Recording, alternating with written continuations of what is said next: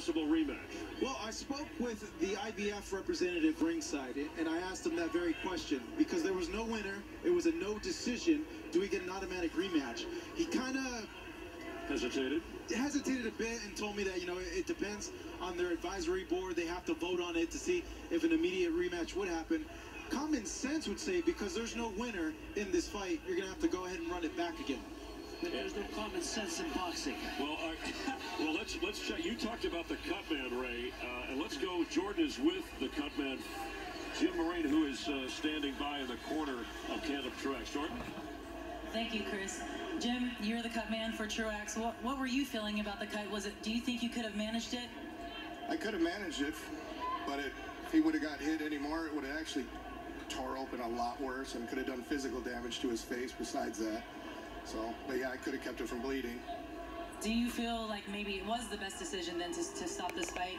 Oh, absolutely. It would have just caused physical damage to his face. All right, Truax, for you, I know this was a big fight for you. It was an IBF title eliminator. It meant a lot in front of your hometown. How disappointed are you with this outcome? I'm very disappointed. You know, all the fans came out. Minneapolis is great. The Armory is fantastic, and I wanted to put on a good fight, and unfortunately, it ended in the second round or whatever it was. But you know, I want to say uh, to Kid Chocolate, you know, we're, we're rivals in the ring, which is my brother outside the ring, and and uh, you know maybe we'll see each other and do it again. But uh, I'm, I'm just disappointed that I couldn't continue. And how did you feel it was affecting you? Was it bothering you pretty bad, or did you feel like it was manageable?